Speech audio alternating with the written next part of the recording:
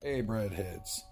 Just to let you know real quick, I'm going to do something that I've absolutely never done before.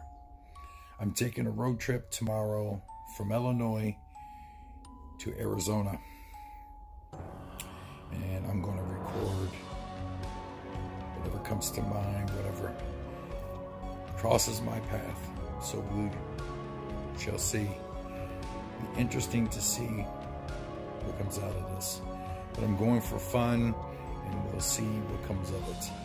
Um, peace and love. Keep watching my nightmares. My latest movie was badass. Thank you so much. Much love.